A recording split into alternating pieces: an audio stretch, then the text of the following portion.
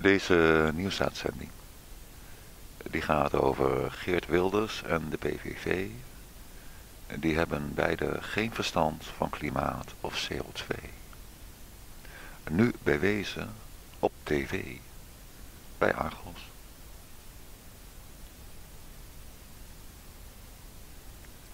Kan het helemaal laten rijmen. Dus, Geert Wilders en de PVV hebben geen verstand van klimaat of CO2. Nu bewezen bij Argos op tv. Drie keer rijmend op E. Leuk hè? Het is waar. Het is ernstig dat iemand als Geert Wilders, die dan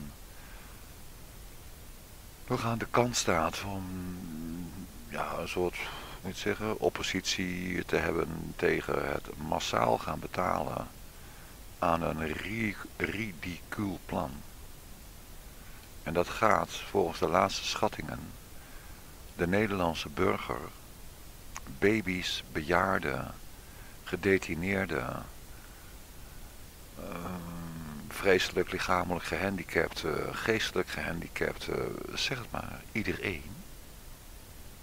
En rekening voor het gemak 20 miljoen Nederlanders, waaronder uh, net binnengestroomde Syriërs, Kenianen. Hier in Arnhem heb je ook heel wat Somaliërs. Allemaal gaan ze per persoon 35.000 euro op tafel leggen. Dat hebben wij niet. Tenminste, ik heb het niet. Ja, hier naast mij woont een jongen en die heeft iets van een Nederlandse naam, maar een hele vreemde achternaam. Die komt niet uit Herugelwaard. Nou, die heeft dat ook niet. En onder die vent woont Cloud. Een hele aardige vent. Die heeft ook een, ja, die heeft een baan en een Renault. Nee, niet een Renault, een Toyota Prius. Maar die heeft dat ook niet. Boven mij woont uh, Marloes. Uh, die werkt overdag in de gezondheidswinkel. Waar ze allemaal eco-pindakaas en dergelijke verkopen. Maar die heeft het ook niet. Kortom, onze portiek die zou dat moeten ophoesten. Zijn ongeveer met een mannetje of tien wonen we Wij zouden 350.000 euro op moeten hoesten om dat plan te financieren wat de VVD heeft verzonnen. En Geert Wilders die wil daar een stokje voor steken. Nou, daar ben ik hartstikke blij mee. Want het feit dat de gemiddelde burger dat geld echt niet heeft, dat betekent niet dat ze zo'n plan niet door laten gaan. Dan gaan ze dat geld lenen. Met uh, de Nederlandse burger als uh, met de economische kracht van de Nederlandse burger, zijn kinderen, kleinkinderen en kleinkleinkinderen als onderpand. En dan wordt het geld wel geleend bij de BIS in Basel. De Bank of International Settlements. En dan zijn we de bok. Dit, dit gaan wij nooit meer kunnen afbetalen. We, gaan kapot aan de rente alleen. En de BTW is al zo hoog. Hè. Nou, Geert Wilders was dan uh, ook bij dat programma van Argos. En dan zei Geert Wilders, nou, er zijn ook mensen en die zeggen dat CO2 best goed is. Want de aarde wordt dan groener. En dat had hij dan gehoord. Dat iemand dat had gezegd. Dan maak ik mij ernstig zorgen. Want dit is geen oppositie.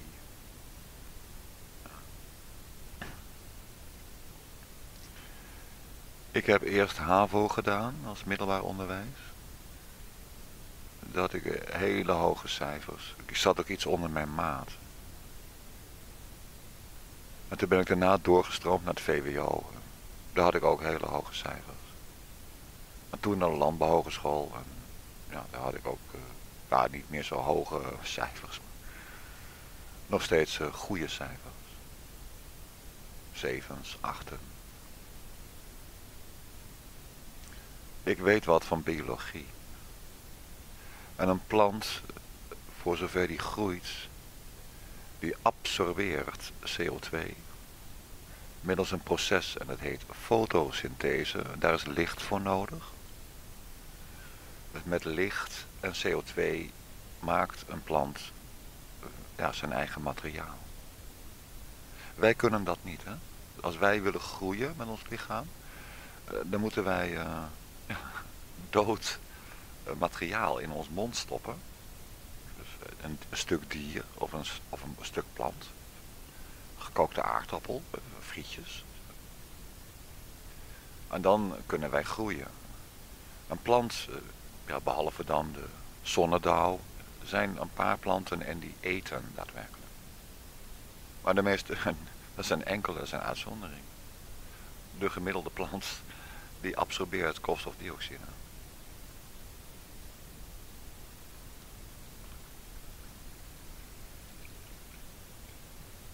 Dat zou Geert Wilders moeten zeggen. En niet dat hij dat heeft gehoord. Nee, hij, is, dit is iets wat iedereen weet. Die maar een beetje verstand heeft.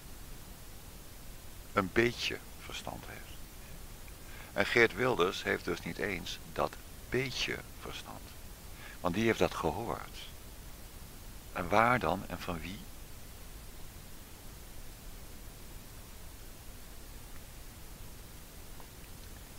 Kijk, daar word uh, ik niet vrolijk van. Dat is een oppositie van niks.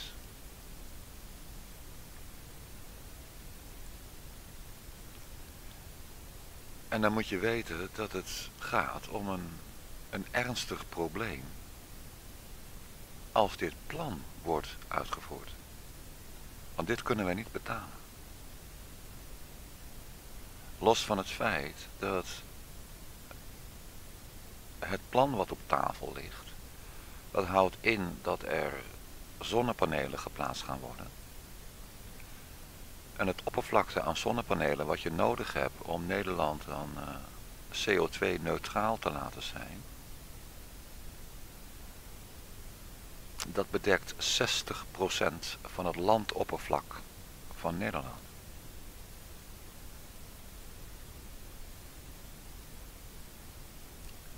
Ja, ik laat even een pauze van. Begin maar vast te bibberen. Als jij een boer bent hier, uh,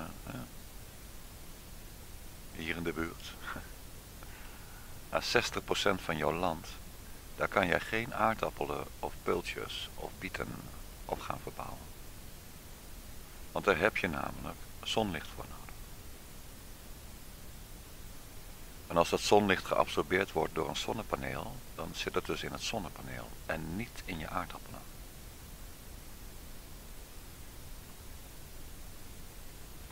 Ja, en dat loof dan hè, van de aardappelen. Want de aardappel zelf zit onder de grond.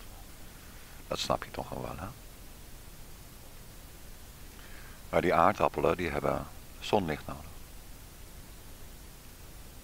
En als je 60% van het zonlicht van Nederland uh, gaat afvangen voor de elektriciteitsopwekking, en dat heb je nodig. Want wij verbruiken hier in Nederland? Uh, ik heb het uitgerekend. Iets van 1,8. Nee, ik zeg 3,2 exajoule per jaar. Een exajoule, dat is 10 tot de macht 18. Dus dat is een 1 met 18 nullen.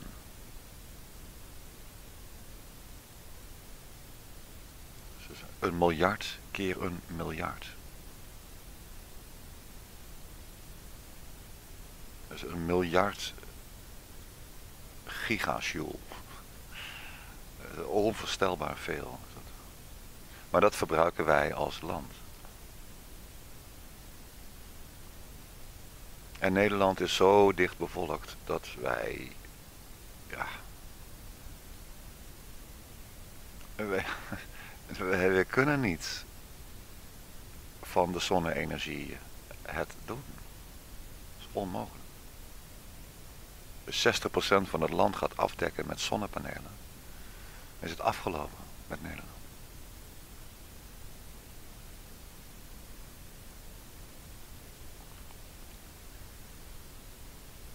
60% kan je denk ik zelf toch wel voorstellen. Ja. Want er zijn ook plekken waar je dat echt niet kan. Als je denkt aan die snelwegen.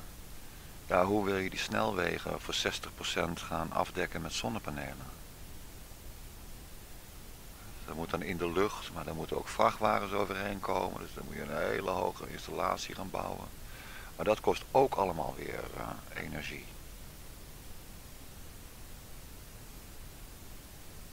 Ja, 35.000 euro per persoon. Dus een gezin met twee kinderen. Dus eh, papa, mama twee kinderen. 4 keer 35.000 euro.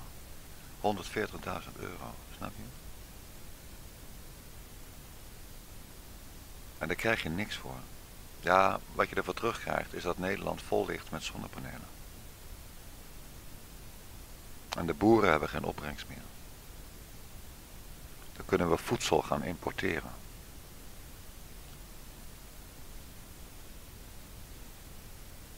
En waar betalen we dat dan van?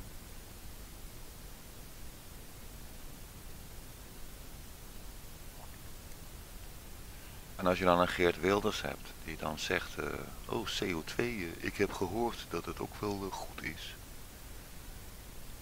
Nee. Dat is niet de oppositie met, ja, met daadkracht. En Thierry Baudet is dan ook anti. Maar die moet ook beginnen met te zeggen hoe het zit. In plaats van, wat zag ik hem doen? Dan had hij een toespraak in de Tweede Kamer. En dan houdt hij even een, uh, een soort uh, grafiekje omhoog. En dan zegt hij, kijk, er is helemaal geen toename in de hoeveelheid neerslag. En op deze kan je dat ook zien. Dan houdt hij nog een blaadje omhoog. Uh, daar heb ik niks aan. Ja. Thierry Baudet van de van de FVD.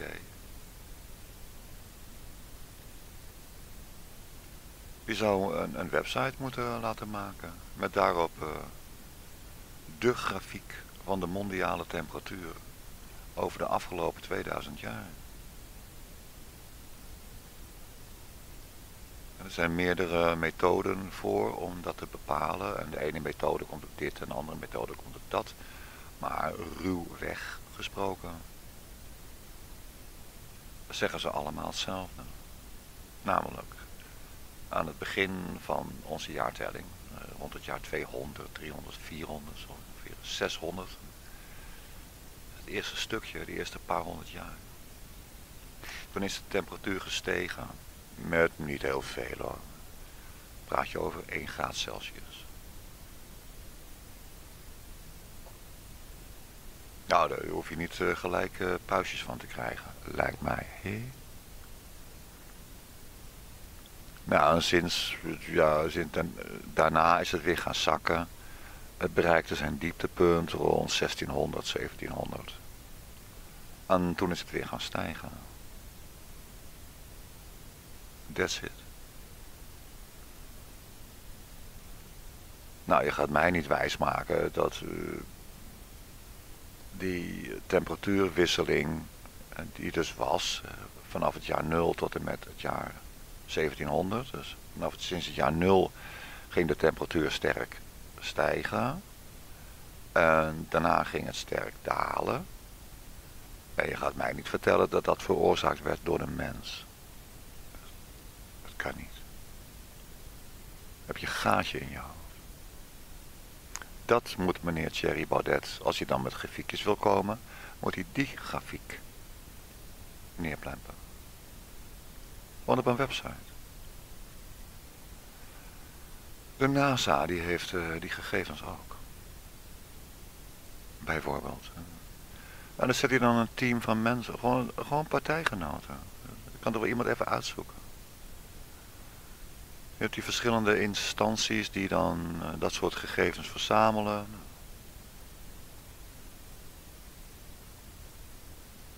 Maak je een gemiddeld plaatje van al die verschillende grafieken. Dat komt allemaal op hetzelfde neer. Die warme periode aan het begin van de jaartelling, die heet de Medieval Warmth Period. Kan je zo opzoeken op Wikipedia. En die wat koudere periode van 1600, 1700, eh, die heet uh, heel leuk de kleine ijstijd. Ja. En sinds de kleine ijstijd wordt het weer warmer. Ja, nou men. Daarvoor was het toch ook warm. Nou, dan. Het enige wat je kan zien is dat het sinds het einde van de 19e eeuw is het uh, nogal sterk omhoog gegaan. Dat wel.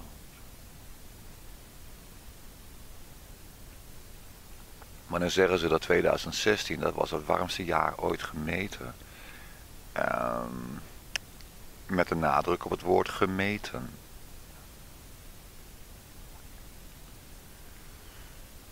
Van de temperatuur tijdens de middeleeuwen, of, of het jaar 500 zeg maar. Dat is niet gemeten. Dat is afgeleid uit boomringen.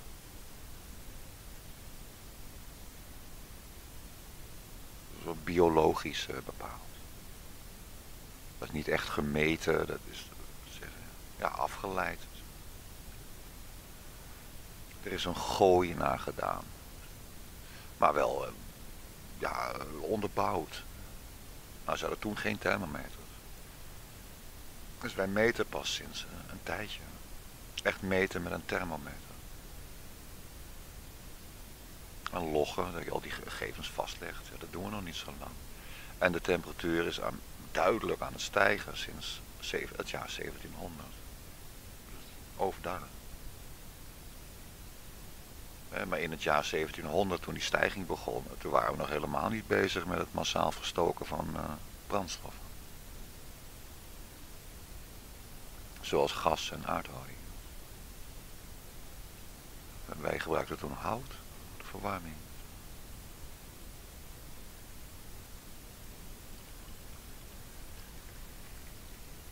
En dat is CO2 neutraal. En dan hak je een boom om. Die gaat in de kachel. En dan omdat je die boom hebt omgehakt, is er een lege plek gekomen in het bos. En even later staat er weer een boom.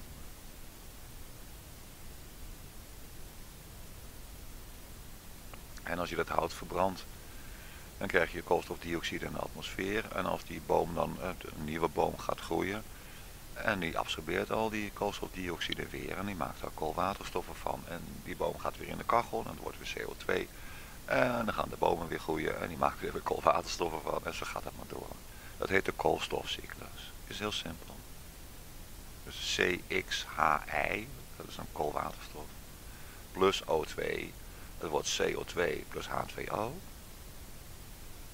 H2O is water en CO2 is kooldioxide. En kooldioxide plus zonlicht in planten dan met de fotosynthese. Dat wordt weer CXHI. En X en Y staat daarvoor een willekeurig getal. Dus een X van 1 en een Y van 4, dan heb je methaan. Nou, dat wordt in de regel niet gemaakt door een plant. Maar andere dingen weer wel. Planten kunnen bijvoorbeeld C2H6 maken. Of C3H8. En nog wel andere dingen.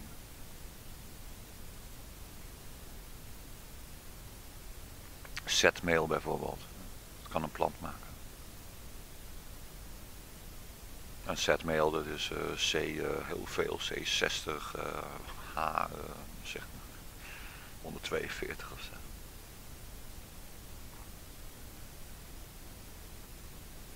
En als je dan die zetmeel opeet als mens, en je gaat daarna ga je sporten, ja, dan wordt het weer CO2. Ja, ah. er is helemaal niks aan de hand met CO2.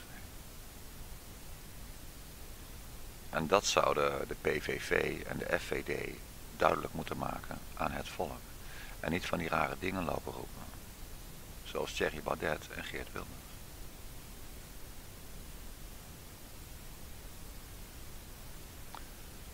Dan ga ik me ernstig zorgen maken.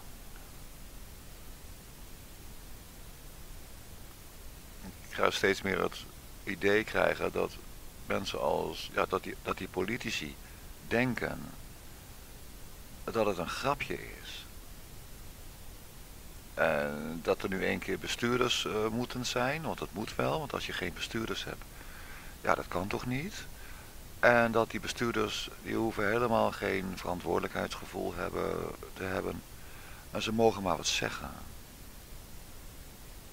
De VVD is voor, en Geert Wilders is dan tegen, en Thierry Baudet is dan ook tegen.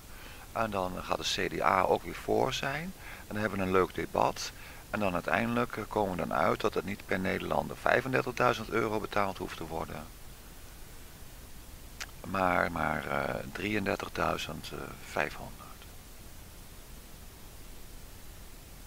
En dat lenen we dan tegen een extra goedkope rente.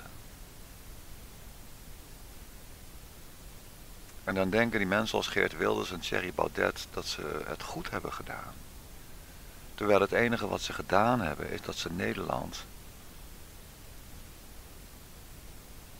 voor een deel kapot hebben gemaakt.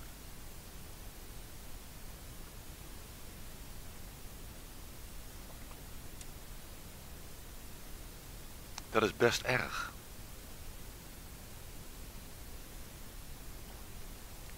Dat je politici hebt die hun beroep zo weinig serieus nemen. En alleen maar denken in uh, one-liners. Zei Thierry Baudet nou ja, dat hele klimaatdenken, dat lijkt op... En dan komt er een of andere frase uit.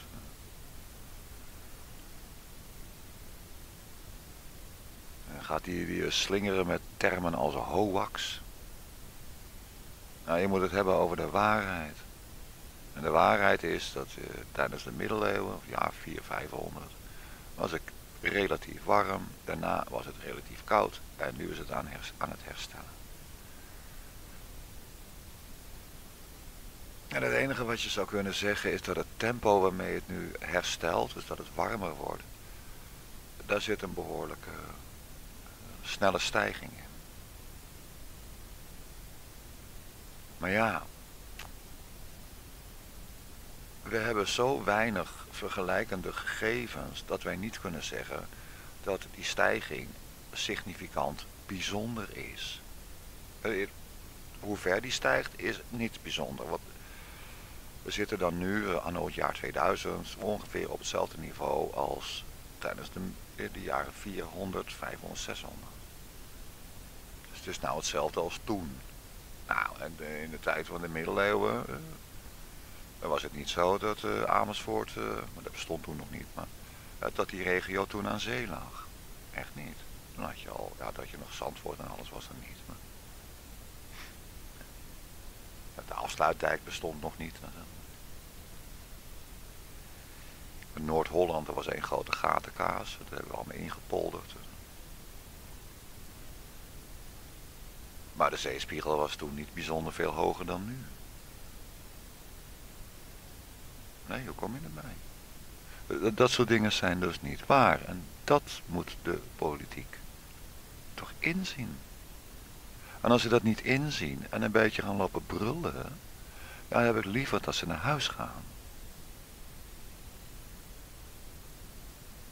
En dan moeten wij zelf maar de oppositie gaan voeren. Eh, de VVD die heeft een artikel in de, in de krant laten plaatsen. waarin ze voorstelden dat hier in Gelderland er per burger 100.000 euro betaald zou gaan worden.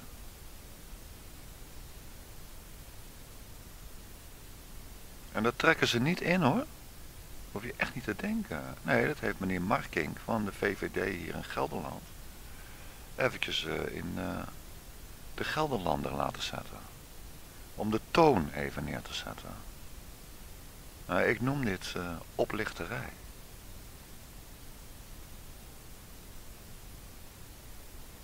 En een regeringspartij zoals de VVD, toch? Die zit toch in de regering, of niet? Mark Rutte is toch van de VVD? Nou dan. En daar zitten oplichters in? Zo. Maar dat maakt mij niet blij, snap je?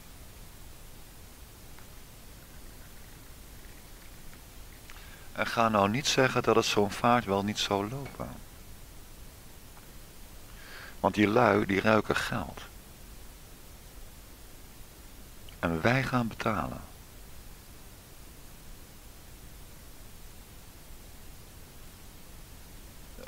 Ga er maar vanuit dat de BTW tussen nu en vijf jaar stevig omhoog gaat. Wederom, hè.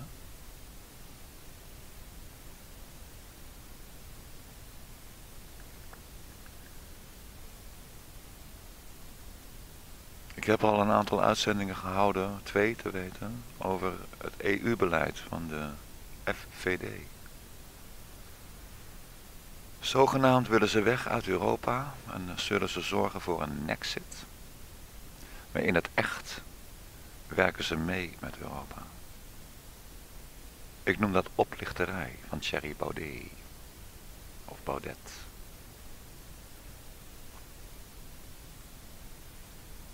Ik vind het heel erg zielig voor al die mensen die lid geworden zijn van de FVD. Want die zijn bedrogen. En nu geven ze Thierry Baudet of Thierry Baudet waarschijnlijk nog het voordeel van de twijfel. Maar straks niet meer hoor.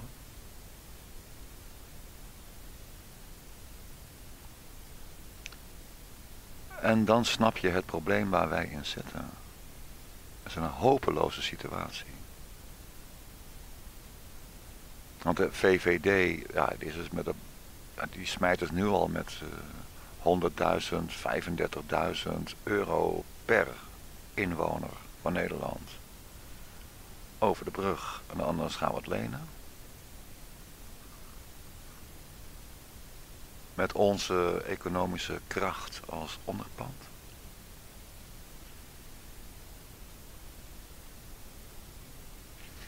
Dus de VVD, daar kan je lekker... Uh, nou, ja, stop er maar mee. Mensen die VVD stemmen, die hebben een gaatje in hun hoofd.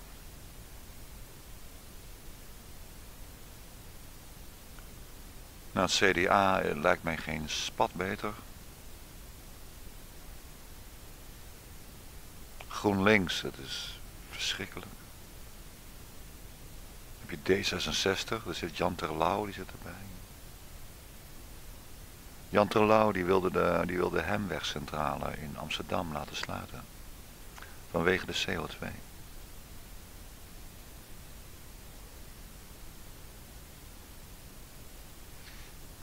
Als meneer Jan Terlouw een paar hersencellen had, dan had hij geweten dat CO2 een meststof is voor planten. Of wanneer voedingsstof moet je zeggen. Mest, dat is, dan ga je weer voor planten. Mest moet je het hebben over stikstof, fosfor. Maar een plant heeft CO2 nodig om te kunnen groeien. CO2 en zonlicht. Die fotosynthese, dat spul, dat heet chlorofiel. Nou, dat, dat maakt een plant zelf aan.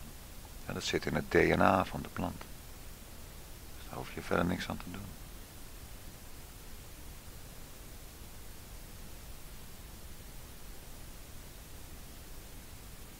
Dat komt vanzelf goed. En zo'n hemwegcentrale daar in Amsterdam. Ja, die produceert CO2, wat degelijk. Ja, nou... Uh, het was een goed gebruik hoor, om de CO2 uit dat soort centrales, om die uh, met een heel pijpensysteem, pijpenleidingen, dan voer je dat af richting de kassen. En daar laat je die CO2 vliegen. En die planten daar, die groeien allemaal tegen de klippen op. Daar zijn die tuinders hartstikke blij mee. Het was zelfs zo dat, uh, was het nou? Was er een ding op tv? Uh,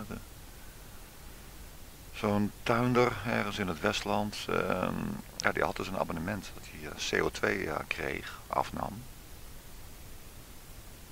Maar er was een kink in de kabel gekomen. En dan had hij dus een backup centrale, maar dan moet hij zelf aardolie gaan verstoken. Ja. Voor nop. En dan die CO2, en dan zijn eigen CO2 maar uh, produceren. Ja, betaalde zich blauw aan de aardolie. Of dat die diesel. De... Gewoon voor nop. Omdat er iets mis was gegaan met de levering van CO2.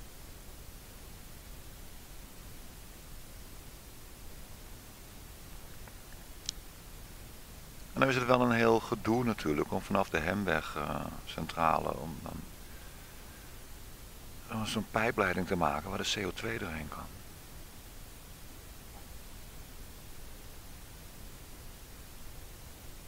Maar dan ben je duurzaam bezig.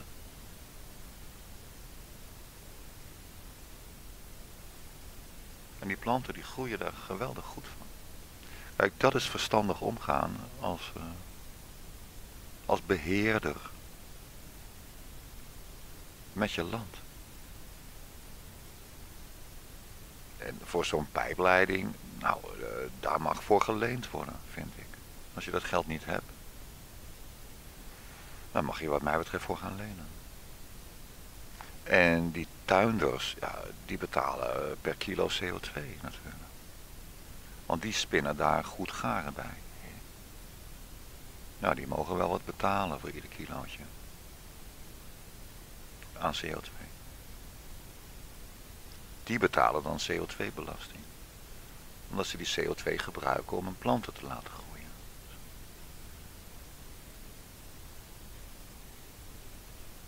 Dan denk je na over je land. En dan kan ik s'avonds met een rustig gevoel gaan slapen. Maar dat kan ik nu niet. Bij wijze van spreken, ja, ik val natuurlijk wel in slaap. Maar dit zijn geen tijden om te denken dat alles goed gaat. Dit zijn tijden om je ernstig zorgen te maken. Dat is wat ik wil zeggen.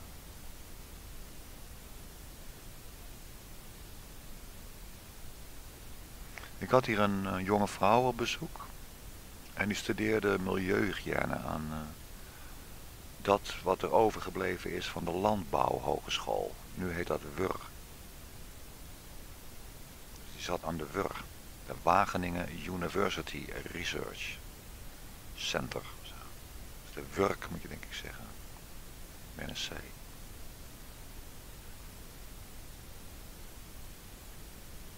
Nou, ik heb op de landbouwhogeschool gezeten en ben ik afgestudeerd.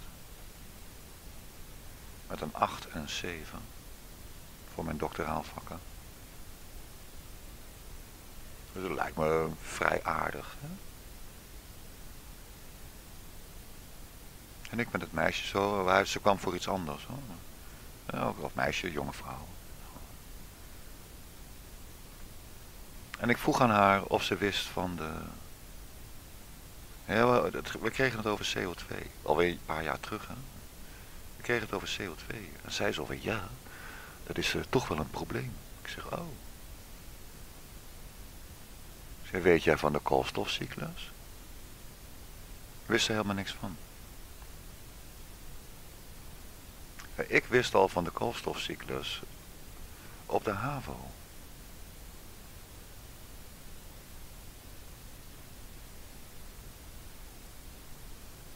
Ik laat even een pauze vallen. Ja.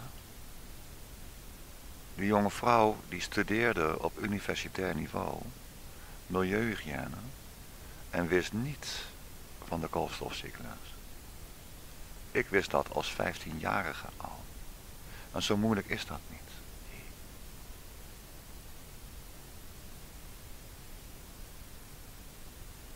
Een kind kan het begrijpen.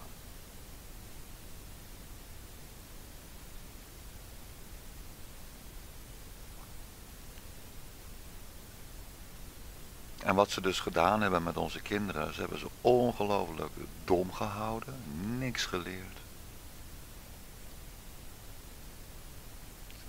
Beetje bij beetje iets minder leren, dat hebben ze gedaan. Want anders zou het op gaan vallen. ieder jaar het curriculum, dat is de, de verzameling aan lesstof, een beetje laten verschalen. En dan uiteindelijk na zoveel jaar heb je het voor elkaar. En dan weten mensen die bezig zijn om een ingenieurdiploma binnen te sleuren, die zijn niet eens op de hoogte van de koolstofziekte. Ik heb maar niet aan die vrouw gevraagd van, eh, ken jij die andere cycli eh, dan misschien wel? Bijvoorbeeld de citroenzuurcyclus? Dan was ze helemaal gaan huilen. Maar ja, het is maar wel. En daar word je niet blij van.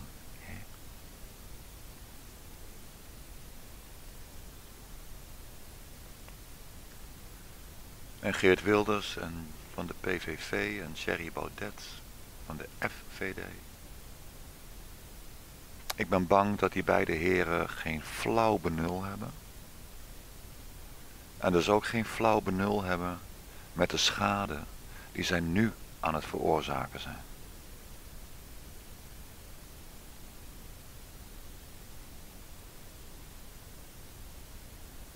Ik vind het heel erg.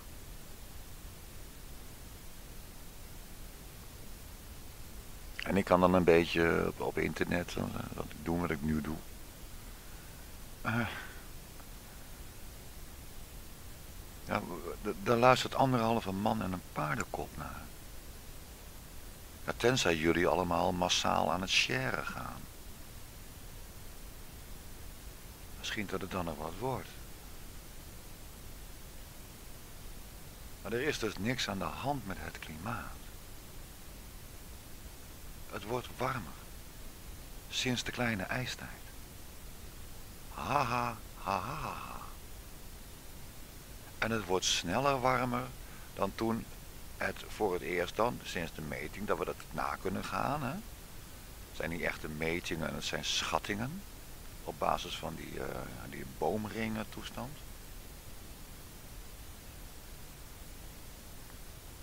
En daarvan ja, zie je dat het onder een bepaalde hoek, zeg maar 45 graden, stijgt het dan. Dus over een aantal eeuwen, zeg maar van het jaar 0 tot en met het jaar 400, steeg het dan een graad. En nu hebben we zo'nzelfde stijging binnen 100 jaar. Of in 100 jaar ongeveer. Nou, dat is vier keer zo stijl. Ja, nou en.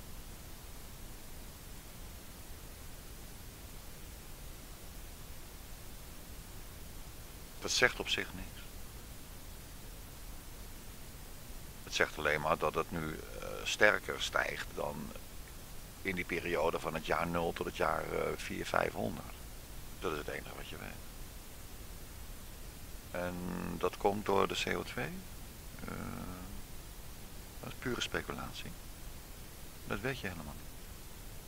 En de rol van CO2, de CO2-concentratie stijgt, dat, dat staat vast. Maar die stijging is toch niets meer tot nu toe uh, de 30%. Meer niet. En dan heb je het over een gas.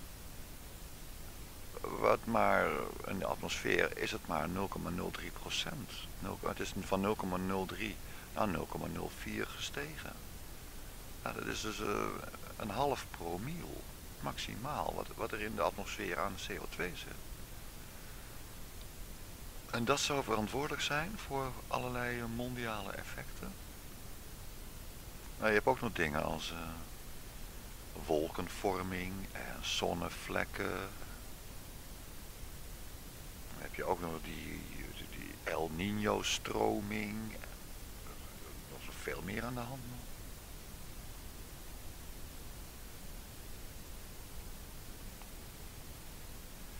Ik neem een stad als New York. Hè? Die winters in New York, die zijn bitter en bitter koud. Winters hier in Nederland, ja, af en toe. Die winter van 2010 op 2011, dat was, een, was heel koud. En de winter van 2011 op 2012, dat was, oh, dat was hartstikke koud. Maar voor de rest is het hier niets, nooit zo koud als in New York in de winter. En hoe komt dat nou? Dat komt door de golfstroom. En ik ken iemand, en Martin is dat, van de Clio. Die woont bij Wim Kruidentuin om de hoek. Uh, die is ook helemaal in paniek over die CO2. En, oh man, en zeker als we dan... Uh, de laatste keer hadden we Clio overleg, was wel heel gezellig. Maar met een flesje neven erbij en uh, een tientje hash. En daarna kwam er nog een, een flesje nevel op tafel. En dan gaat Martin helemaal aan zijn dak. Hè. Ja, we gaan allemaal dood. Ik zal het zelf niet meer meemaken, maar onze kinderen... Hij heeft zelf helemaal geen kinderen. Maar ja, iedereen gaat dood.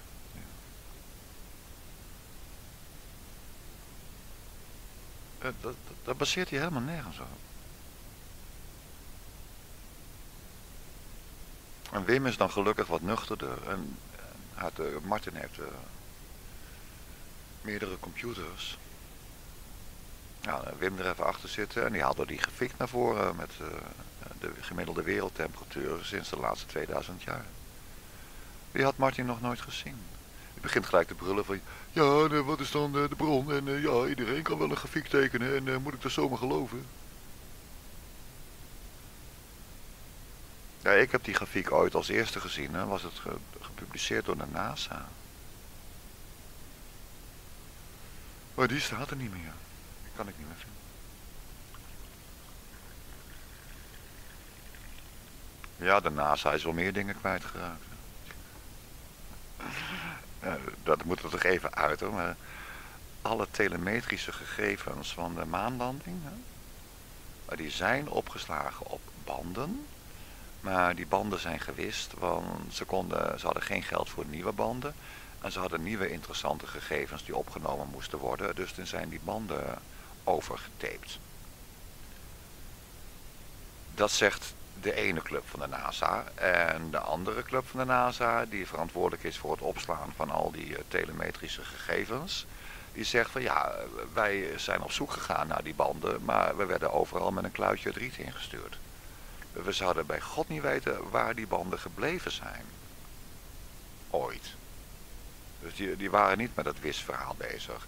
En is er ook nog een andere wetenschapper en die zegt van ja, de technologie met al die blauwdrukken en al die ontwerpen van de raketten en de raketmotoren en van de maanlander en uh, hoe je om moet gaan met de Van Allen belt en al die dingen. Al die gegevens, al die documenten, die hebben we allemaal vernietigd. En ja, wij hebben nu geen mogelijkheid om dat weer... Uh, uh, ja, ja, wij hebben het allemaal vernietigd en... Ja, we, ja, ja, we kunnen niet meer naar de maan. Dus de NASA die raakt wel vaker dingen kwijt. dus misschien hebben ze die uh, temperatuurgrafiek ook wel weggegooid. Oh, gek zeg, ja, net was hij er nog. Oh, ik zie het al, ik heb, uh, oh, het zit in de prullenmand. Oh, dat doe ik empty trash. Are you sure this will permanently delete the data? En toen heb ik uh, geklikt op yes, want toen zei ik, nou yes, ik wil het houden. Yes, uh, delete en destroy. En toen bleek het echt weg te zijn. En, ja, wat zei ik ook alweer? Ja, misschien ging het zo, weet je veel.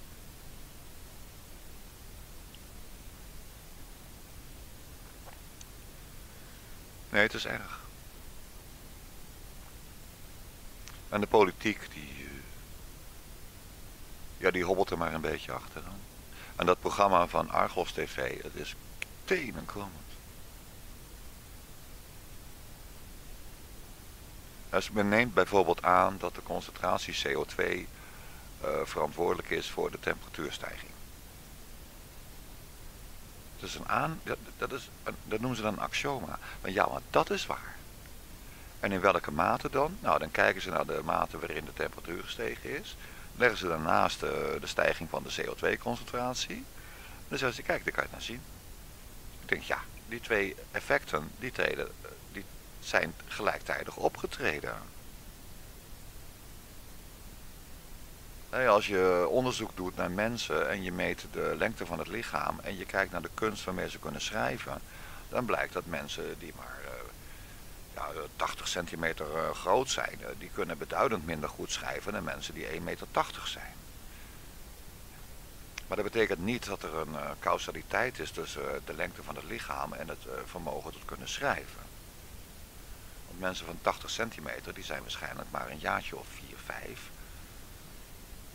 of nog jonger, ja, die kunnen niet schrijven. Terwijl mensen van 1,80, ja, die zijn volgroeid en die kunnen dus beter schrijven.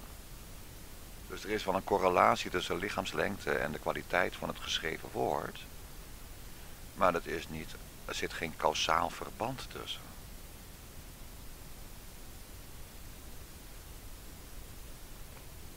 Dus dat twee effecten tegelijkertijd optreden, dat wil niet zeggen dat ze elkaar aansturen.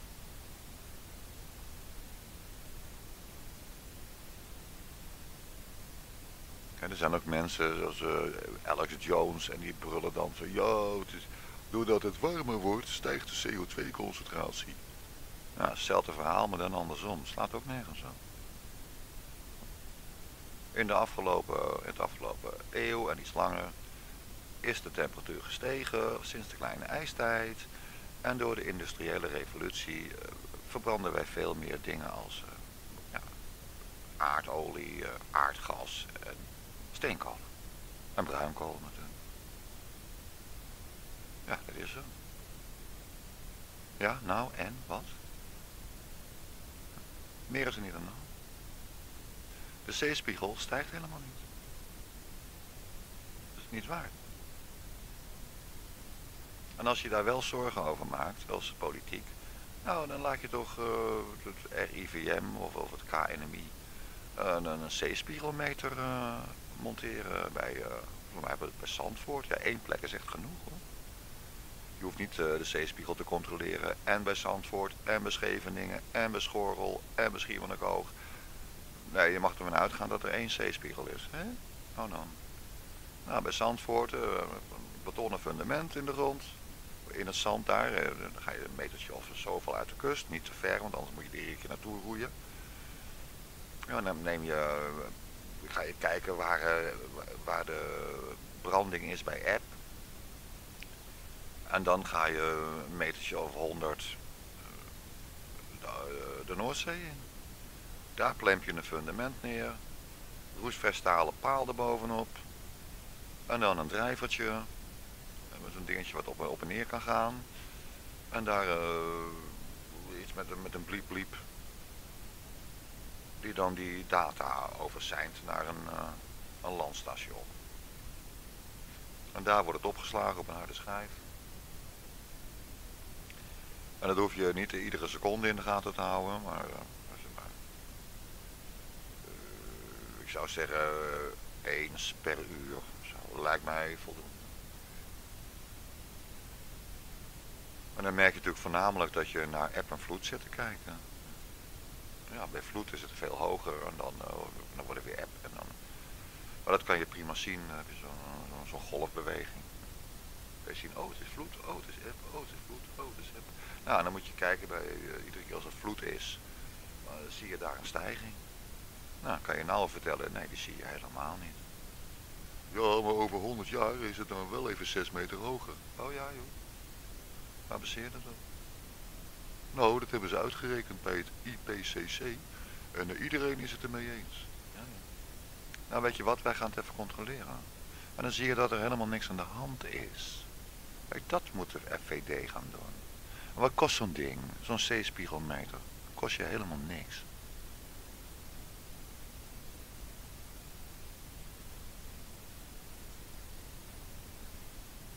Zo is dat. En niet anders. En we gaan toch geen geld uitgeven om een probleem op te lossen wat helemaal geen probleem is. En dan ook nog uh, 35.000 à 100.000 euro per Nederlander. En we betalen ons al blauw aan de Europese Unie. Met ieder jaar weer naheffingen.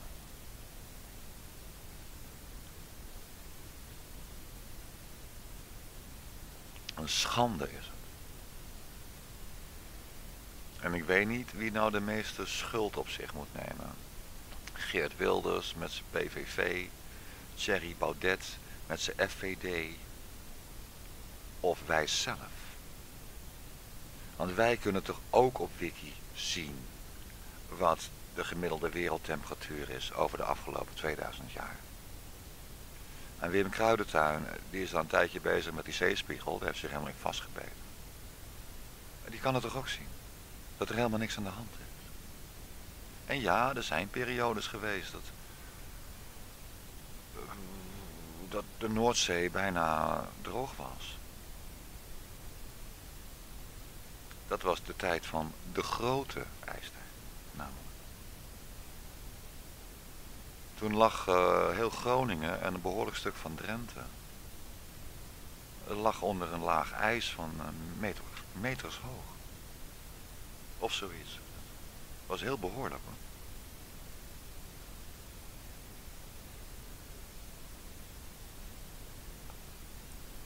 Ja, en die periode is voorbij gegaan. Dus kennelijk is er een, een soort evenwicht in de temperatuur op aarde. Die, kan wel de ene kant opgaan, of in dit geval dat het heel erg koud wordt met die grote ijstijd. Maar dan krijg je daarna weer een periode waarin dat zich weer herstelt. Kennelijk. Maar wij weten daar niet veel van. We, we, zitten een beetje... Uh, het zijn schattingen. Op Arctica, dus de Noordpool, dat gebied, daar zijn restanten aangetroffen van, van, van vegetatie. Vegetatie die er nu niet meer is. Maar vroeger was daar dus kennelijk uh, dat je algen en andere waterplanten. Ja, nou niet meer. Maar toen wel. Dus, nou en? Moeten we dan in paniek raken? Waarom?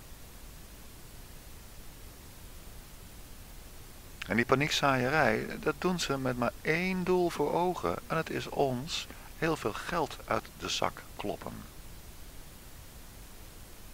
En ziekenhuizen sluiten, want er is geen geld meer voor. En de, de bejaardenhulp gaan we terugschroeven, want er is geen geld meer voor. Nee, vind je het gek als je de Nederlandse burger uh, gaat belasten met 35 à 100.000 euro over de komende jaren? Dan hebben we er straks helemaal geen geld meer. Hier in Nederland lopen 12.000 kinderen op straat. Want er is geen geld voor om die kinderen op te vangen. Ga je daar maar eens uh, over zorgen lopen maken. He?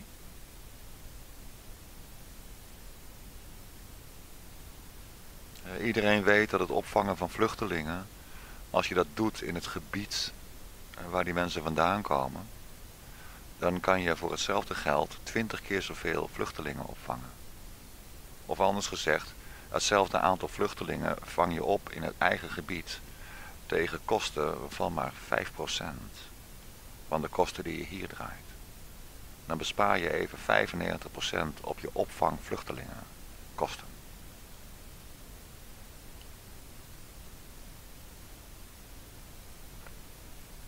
Ga je daar een keer druk over maken.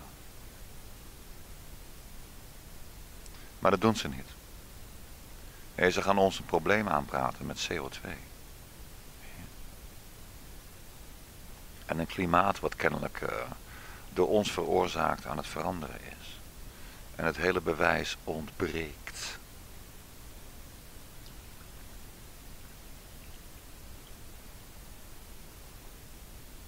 In het programma van Argos, er was ook zo'n dame van het IPCC. En dat beweert dan van ja, wij sturen al die rapporten aan heel veel andere mensen. En die mogen daar dan een oordeel over vellen. En zo eh, hebben wij de mening van heel veel mensen bij elkaar. En ze zeggen allemaal hetzelfde.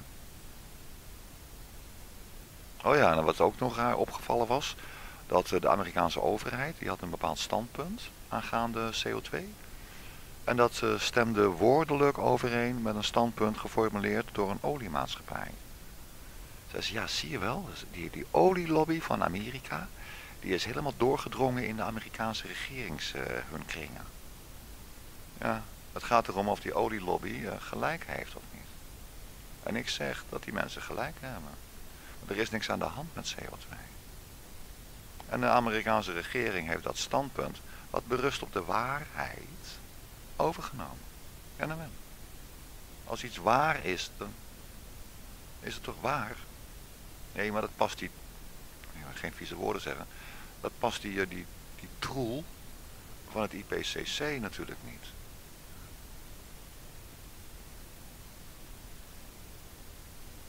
Nee, die burgers moeten bang gemaakt worden.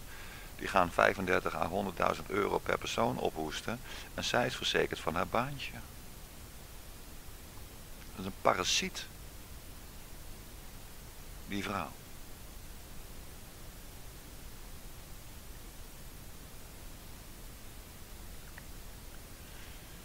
Ga je maar zorgen maken. En kom maar in opstand. Tegen de stupiditeit. Maar dat wordt nog een heel erg groot probleem. Die opstand. Snap je?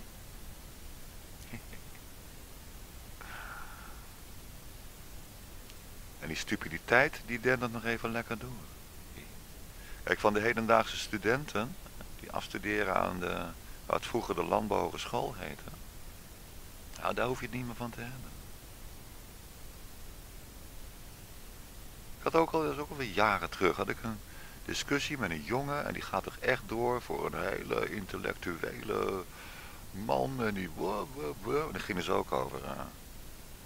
Uh, lopen we nou een ernstig risico met die globale temperatuurstijging? En ik had, ik was met hem over de mail of zo. En wat hij dan ging doen, is dan, trok hij door die punten een Bézier-curve. Ik weet niet of je dat kent, maar... Eh, je kan een, eh, een, een groep, dus een punt, een wolk of zo, eh, die kan je altijd wel op een of andere manier, trek je daar een, een soort vloeiende lijn doorheen. En de Bézier-curve is er dan zo eentje die daar zich goed voor leent. De Bézier-curve wordt ook gebruikt in het construeren van lettertypes. Dat je ook van die puntjes. Hè. En dan kan je het heel klein maken en dan kan je helemaal uitvergroten. En dat blijft dan heel mooi, want het is een Bézier-curve. Ja, had hij daar een Bézier-curve doorheen getrokken en dan extrapoleren. Ja, over 75 jaar eh, is de gemiddelde temperatuur in de zomer in Nederland iets van 65 graden Celsius. Ja. Zit hij lekker uh, achter zijn... Heeft ook een Macintosh. Nou, het is wel knap dat hij zo goed om kan springen met die BC-curves. Allemaal alle respect. Maar dat zegt helemaal niks. En die jongen die denkt dat hij wetenschappelijk bezig is.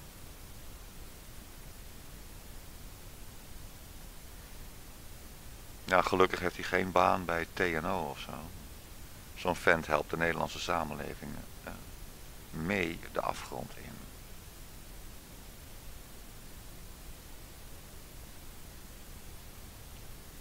Het mij weet. Ik hoop dat jullie gaan nadenken. En ga vooral kijken op eh, Wikipedia en Google. En check maar. Dat hoef ik niet voor jullie te doen. Namelijk. Dat moet je zelf gaan doen. En zelf inzien dat iemand als Geert Wilders, die moet hoog nodig winnen school. En Thierry Baudet, die moet hoog nodig winnen school. Gewoon in de klas zitten mondje dicht, goed luisteren naar de leraar. En ik wil ze wel lesgeven. Dat, wil ik een kleine vergoeding, door reiskostenvergoeding en zo. ik heb binnenkort een uitkering, dus ik mag niet eens echt verdienen, want dan word ik toch gekort op mijn uitkeringen. Maar ik mag wel een reiskostenvergoeding accepteren en uh, iets voor de lunch of zo. Maar ik eet niet veel hoef ik helemaal geen luxe dingen als uh, stokbrood met uh, satésaus, uh, verse kalfse dingen, geroosterd met een... dat hoef ik allemaal niet. Gewoon een boterhammetje met een kroket. En een glas melk. Karnemelk of zo. Kopje thee. Ja, daar zit mijn lunch er weer in hoor. Daar doe ik het wel voor. Geert Wilders bij mij in de klas, Thierry Baudet dan mogen ze ook mensen meenemen. De allerslimste bollebozen van de PVV en de FVD mogen ook in de klas. Ik daarvoor met een biemertje. Dan ga ik eventjes laten zien hoe je Google bedient. Dat kunnen ze kennelijk niet. Dan krijgen ze van mij Google les.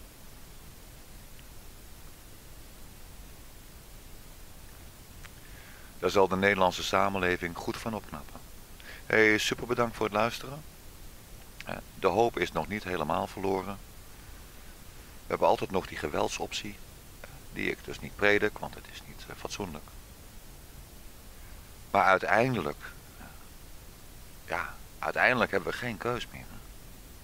En dan moeten we wel. Nou, dan is het of wij gaan eraan, of die politici. Dus of, een aantal politici, dat zijn er dan, laten we alles bij elkaar gooien, die ministeries, we zijn maar 10.000 mannen. Dus of die 10.000 man gaan eraan, of die 20 miljoen Nederlanders minus 10.000. Nou, zo je nog steeds 20 miljoen.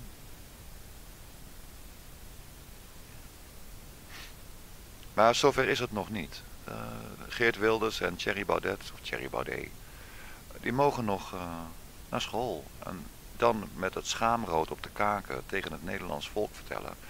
Ja, wij waren toch wel een beetje dom, net als Willem-Alexander in de ogen van Maximo. Boetekleed, vergeten we alles. De VVD wordt als partij ontbonden. Die zitten achter dat euvele plan van die 35 à 100.000 euro die ze even willen gaan incasseren van iedere burger hier in Nederland, iedere inwoner hier in Nederland. Baby's en bejaarden in kluis. Maar de VVD moet zonder meer ontbonden worden. Ook met die ideeën van verplichte vaccinatie. Dat moet verboden worden. Er zou een wet voor moeten komen. Die dat soort partijactiviteiten. Ja, dat daar sancties op komen te staan. Dat je niet zomaar alles mag beweren als partij. Je hebt je wel te gedragen. Een bepaalde moraal uh, te hanteren. Hey, super bedankt voor het luisteren. En op zijn hamburgers zeg ik tjus. En de PVV en de FVD oppassen daarmee.